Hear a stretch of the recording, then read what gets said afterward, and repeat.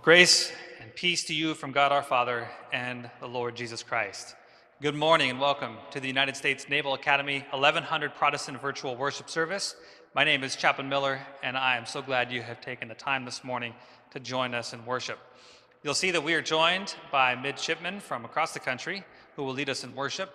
I'm also joined this morning uh, by Monty Maxwell and, of course, Chaplain Orsburn, who will deliver God's word to us today.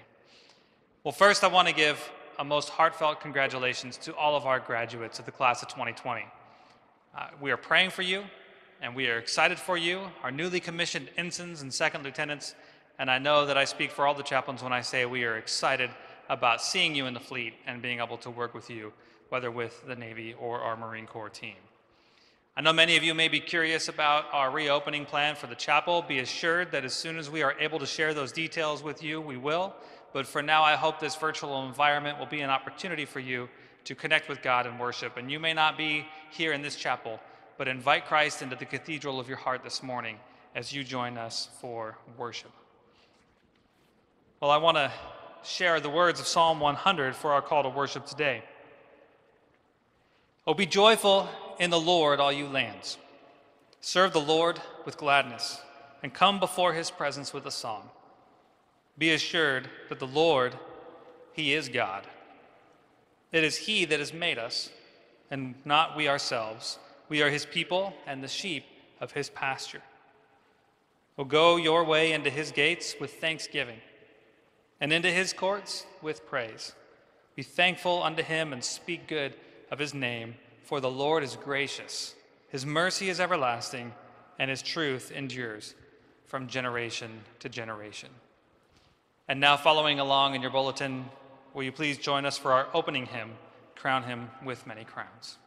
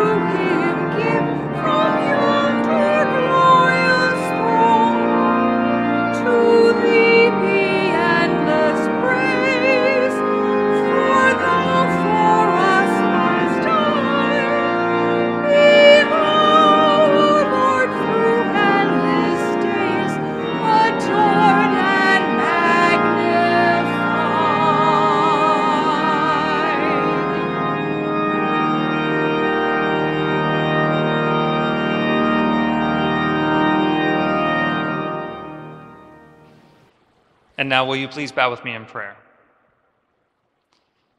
O God, the King of glory, you have exalted your only Son, Jesus Christ, with great triumph to your kingdom in heaven. Do not leave us comfortless, but send us your Holy Spirit to strengthen us and exalt us to that place where our Savior Christ has gone before, who lives and reigns with you and the Holy Spirit, one God, in glory everlasting. Amen. Our scripture reading this morning comes from the book of Acts, the first chapter beginning with the sixth verse. So when they had come together, they asked him, Lord, will you at this time restore the kingdom of Israel? He said to them, It is not for you to know times or seasons that the Father has fixed by his own authority. But you will receive power when the Holy Spirit has come upon you, and you will be my witnesses in Jerusalem and in all Judea and Samaria and to the ends of the earth. And when he had said these things, as they were looking on, he was lifted up, and a cloud took him out of their sight. And while they were gazing into the heavens as he went, behold, two men stood by them in white robes and said, Men of Galilee, why do you stand looking into the sky? This Jesus, who was taken up from you into heaven, will come in the same way as you saw him go into heaven. Then they returned to Jerusalem from the mount called Olivet, which is near Jerusalem, a Sabbath day's journey away. And when they had entered, they went up to the upper room where they were staying. Peter and John and James and Andrew, Philip and Thomas, Bartholomew and Matthew, James the son of Alphaeus, and Simon the Zealot, and Judas the son of James. All these, with one accord, were devoting themselves to prayer together with the women and Mary, the mother of Jesus, and his brothers. The word of the Lord. Thanks be to God.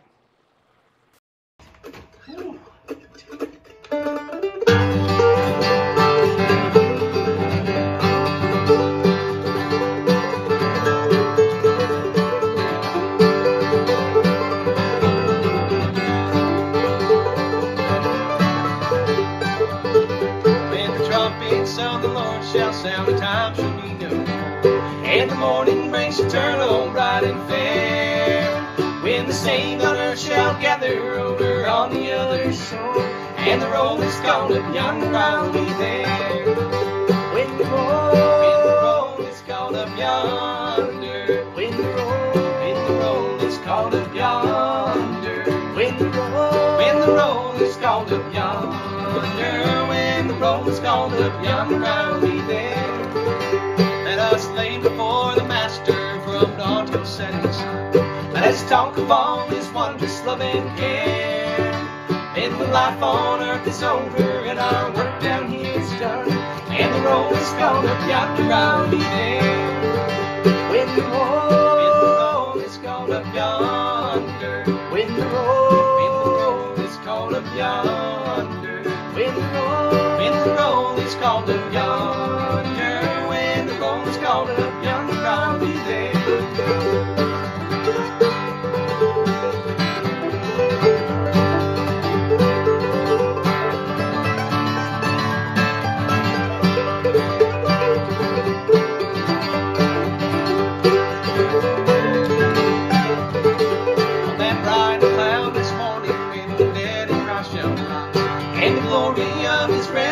Resurrection share. Then chosen ones shall gather to their home beyond the skies, and the roll is called up yonder, I'll be there. When the roll, when the roll is called up yonder,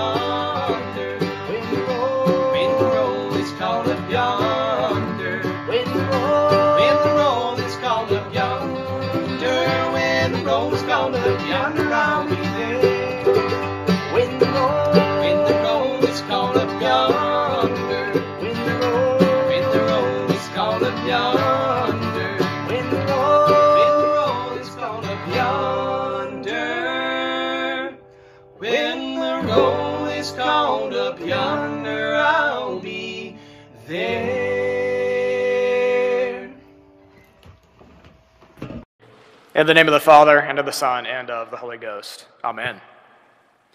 Go. It is a simple word of action. Two letters G O.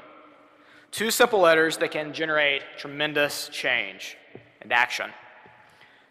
43 days ago, we celebrated the resurrection of our Lord Jesus Christ from the grave. For 40 days, Christ appeared here and there in various gospel accounts. On the 40th day after Easter, our Lord ascended into heaven. We celebrated this event in the Christian calendar with a special feast of the Ascension this past Thursday. On the 40th day after the resurrection, it was time for our Lord to go. It was time for him to return to the Father. Our reading from the Acts of the Apostles this morning recounted the story of the ascension. When the apostles had to come together, they asked Jesus, Lord, is this the time when you will restore the kingdom of Israel?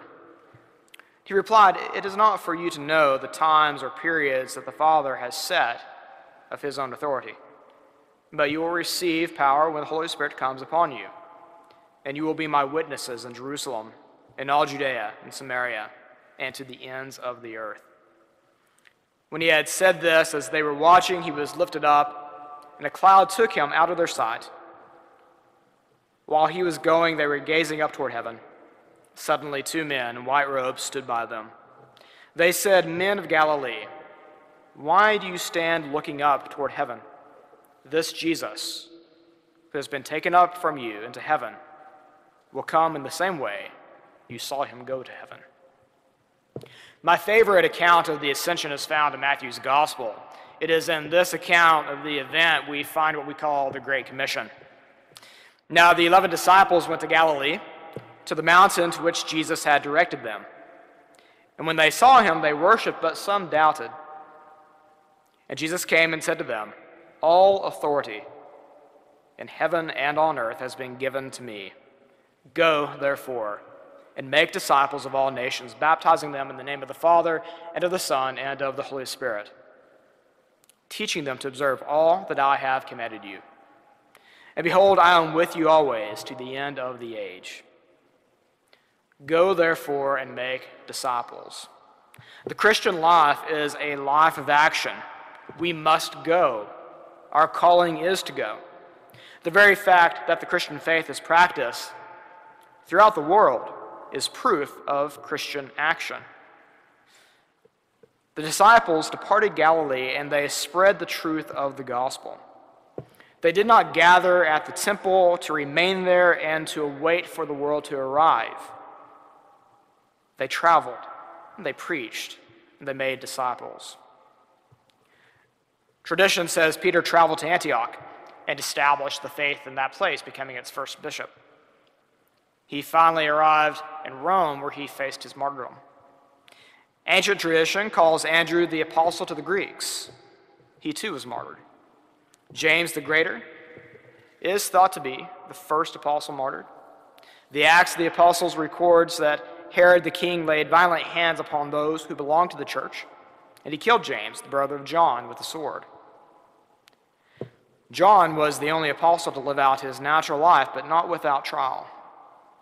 As he writes in the Apocalypse, I, John, your brother, who share with you in Jesus the tribulation and the kingdom and the patience and endurance, was on the island called Patmos on account of the word of God and the testimony of Jesus. Little is known about Philip and Bartholomew, with traditions taking them to various places, yet both died as martyrs. Thomas is believed to have taken the gospel to India where his memory is held dear to this very day, dying there a martyr. Tradition takes Matthew to his martyrdom in Ethiopia, Judas Thaddeus and Simon the Zealot to theirs in Lebanon, James the Less to his in Jerusalem as he pastored the church in very troubling times, and finally Matthias to his martyrdom in Cappadocia. They preached, they baptized, they made disciples, and now the faith is found the world over. Go. Faith led these men to action, and it led them to trial. Peter himself would write of trial in his first epistle, saying, Beloved, do not be surprised at the fiery ordeal that is taking place among you to test you, as though something strange were happening to you. But rejoice in so far as you are sharing Christ's sufferings, so that you may also be glad and shout for joy when his glory is revealed. Humble yourselves, therefore, under the mighty hand of God, so that he may exalt you in due time. Cast all your anxiety on him, because he cares for you. Discipline yourselves. Keep alert. Like a roaring lion, your adversary, the devil, prowls around, looking for someone to devour. Resist him steadfast in your faith. For you know that your brothers and sisters in all the world are undergoing the same kinds of suffering. And after you have suffered for a little while, the God of all grace, who has called you to his eternal glory in Christ, will himself restore, support, strengthen, and establish you. So Peter says, Go and do not fear being tested. Go and be alert, for you shall be tested. Go and know that Christ will restore, support, strengthen, and establish you. Go. The time for the idleness of faith in the Western church has long since passed. The world is not going to come to us to hear the gospel. We must go. We must share the faith. But before we go, we must be prepared. Next week, we celebrate the feast of Pentecost. And we believe that the Holy Ghost has indeed been sent to comfort us during this time. Lean upon the Spirit. Study, pray, labor in the faith, and prepare for your journey. So, where shall you go? Perhaps you shall first go to those whom you have injured in the past and ask for forgiveness.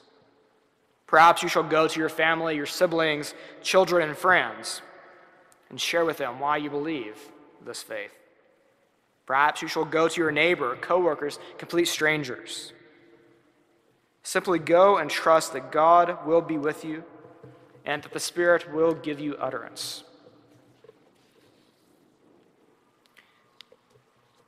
As I said before, we go, we must be prepared. Over the past four years, the class of 2020 prepared itself to go to fulfill their own commissions. And now they are going. They will go the world over, to the far side of the world and even close to home. And for each of you who departs this place in the class of 2020 as a Christian, you go in that very faith, not leaving it behind at this chapel or in this place. You take it with you. You go. And in going, you will take the gospel to the far ends of the world. So be certain that when you go and you lead, the men and women you lead know why you lead the way you lead, that they know who your true Lord is and why you stand upon the ground that you stand. And when you're there, go to those others in the faith and join with them and strengthen yourselves. Lift each other up in company with each other. Stand firm. And for all of us, we must stand firm and preach what is true. But as Christians, we proclaim the truth to a world that forces us to stand sometimes in dissent. And sometimes we stand in dissent in our own church or in our own family. But we must stand firm, but do not stand in one place too long. Men of Galilee, why do you stand looking up toward heaven? This Jesus who has been taken from you into heaven will come in the same way as you saw him go into heaven. So let us go and make disciples the world over, in our own homes, our own neighborhoods. Let us go with Christ Amen. And now, if you'd like to kneel with me in prayer, will you please join me as I offer this morning's pastoral prayer? Almighty God, Father of all mercies, we, your unworthy servants, give you humble thanks for all your goodness and loving kindness to us and to all whom you have made. We bless you for our creation, preservation, and all the blessings of this life, but above all for your immeasurable love in the redemption of the world by our Lord Jesus Christ, for the means of grace and for the hope of glory. And we pray, give us such an awareness of your mercies that with truly thankful hearts we may show forth your praise, not only with our lips, but in our lives. By giving up ourselves to your service and by walking before you in holiness and righteousness all our days, through Jesus Christ our Lord, to whom with you and the Holy Spirit be honor and glory throughout all ages. And God, this morning we lift up our entire Naval Academy team. To our midshipmen who are looking forward to their summer programs and what the academic year will hold next year. To our graduates who are now hitting the fleet and preparing to be Navy and Marine Corps officers. To all of our faculty and staff as they adjust. And to our leadership, our commandant, our superintendent, as they make difficult decisions about how to ensure continual mission readiness. We pray for our ministers around the world as they adjust to sharing the gospel and to the continual worship of you. And our chaplains at the Academy as we continue to strive to bring your word and your grace into the lives of those who need it. God, we're mindful this week of a service member who lost his life in Afghanistan, First Lieutenant Travarius Bowman, who died on May 19th from non combat related injuries. We lift up his family to you, his friends, his loved ones. May your love and your grace and your peace and your comfort wash over them. And for all those who are struggling with the loss of loved ones, with the death of loved ones or friends, or just the fear or the anxiety or the uncertainty that comes in this time. May your peace, which surpasses all understanding, guard their hearts and their minds in Christ Jesus. And now, God, we pray, as Jesus taught us Our Father who art in heaven, hallowed be thy name. Thy kingdom come, thy will be done, on earth as it is in heaven. Give us this day our daily bread and forgive us our trespasses, as we forgive those who trespass against us. And lead us not into temptation, but deliver us from evil. For thine is the kingdom, and the power, and the glory, forever and ever. Amen. And now, will you please join me out loud follow along in your bulletin as I offer our prayer of a midshipman? Almighty Father, whose way is in the sea, whose paths are in the great waters, whose command is over all, and whose love never faileth. Let me be aware of thy presence and obedient to thy will. Keep me true to my best self, guarding me against dishonesty in purpose and in deed, and helping me so to live that I can stand unashamed and unafraid before my shipmates, my loved ones, and thee. Protect those in whose love I live. Give me the will to do my best and to accept my share of responsibilities with a strong heart and a cheerful mind. Make me considerate of those entrusted to my leadership and faithful to the duties my country has entrusted in me. Let my uniform remind me daily of the traditions of the service of which I am a part. If I am inclined to doubt, steady my faith. If I am tempted, make me strong to resist. If I should miss the mark, give me courage to try again. Guide me with the light of truth and keep before me the life of him by whose example and help I trust to obtain the answer to my prayer, Jesus Christ our Lord. Amen.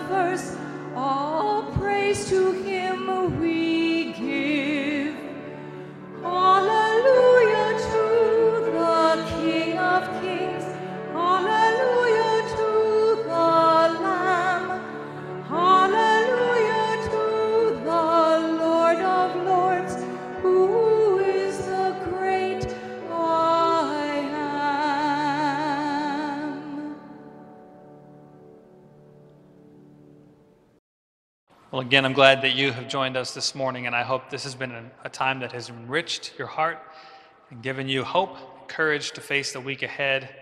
And as we go, in the grace of our Lord Jesus Christ and the love of God and the fellowship of the Holy Spirit be with us all evermore. Amen.